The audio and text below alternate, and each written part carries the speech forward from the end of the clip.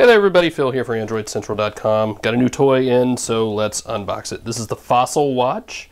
Uh, so I am queuing my curiosity. Get it? Q, Q, yeah. Uh, here's what it looks like on the box. Cool, so it's going to be a metal watch. It's been a little while since I've used one of those. Uh, other new thing here where the, I saw the little, uh, there it is. Intel is inside this one.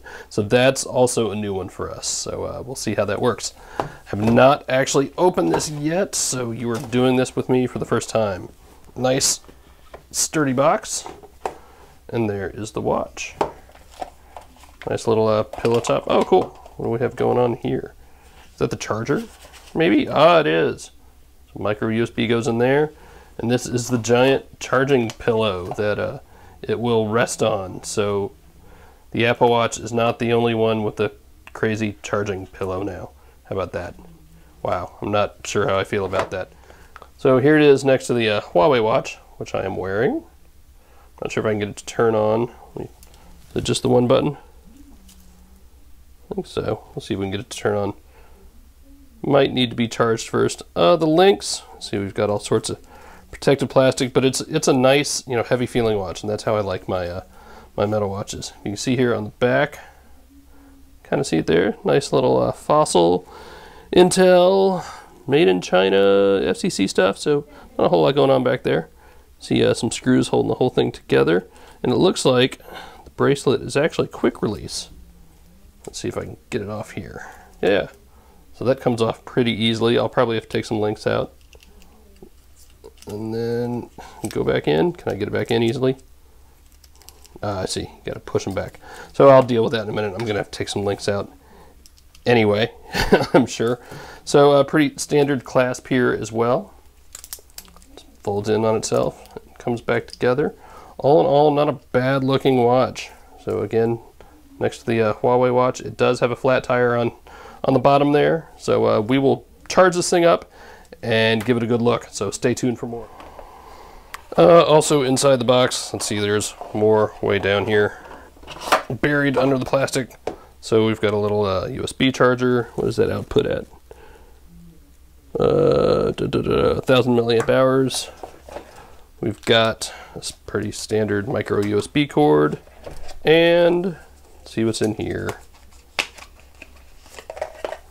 Fossil Q warranty and information. I am totally going to get right on that and read it. Oh, look at that. Charge indicator will be on the side. It's kind of interesting. See if there's anything else here we care about. Touchscreen, home power button, charging surface is on the back. They call that a charging cuff. Okay. And that is it for the book. Okay, and I finally got it uh, fired up, so we'll take a quick look. Here is one of the Fossil watch faces. I've already switched it from the default ones because I like this better. Uh, you'll notice that it does... Hi, Mike. How's it going, Mike? Mike's the one working on our app. He's working hard. Um, so it does have the flat tire down here in the bottom. I am not a fan of that. If it doesn't bother you, fine. Uh, all things being equal, I really like the design of this, though. Really nice watch. This is basically kind of what the LG Watch Urbane was trying to be, just without breaking the bank. Uh, this is running Android 5.1.1, no 6 on it yet, like is on the uh, the canceled Watch Urbane 2. so everything looks pretty familiar here, you know, same settings, not really seeing anything different or unexpected. Uh, the display itself, not bad. So let's switch away from this black and white watch face so you can get a better idea of the display. See, digital is the one that it uh, comes with out of the box. So you see it's got all this stuff on it cool, I guess. It's December, you can tell. So uh, not a bad resolution at all. I think I'm a little used to the uh, the different uh, density on the Huawei watch. But let's see. Everybody's big on. Oh, look, there's Fred. You want to see Fred? Got a whole bunch of watch faces. That's kind of nice, actually. Actually, that looks really good on here. I'm not sure if it's coming through on the camera all that well, but it looks pretty darn good in person. Wow, there's a lot of color. Thanks, Fossil. Wow, Ooh, yeah, no, that one's not for me. I don't think. Anything else in here I might like? I kind of like Fred, actually. Roulette? Ooh, that's kind of interesting. Oh, neat. That's different. Kind of like that. I'm not sure I'd use it, but I like it. And together. So you got a handful of uh, fossil wash faces and most of the stock ones. I don't know. Will I stick with the classic? Maybe. Come here. You can change the color of it though. You can uh, customize it somewhat. So maybe I'll play with that some. Maybe I'll do blue. How about blue?